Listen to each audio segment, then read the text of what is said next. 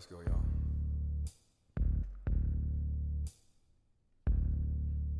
If this world were mine, I would place at your feet all that I own. You've been so good to me.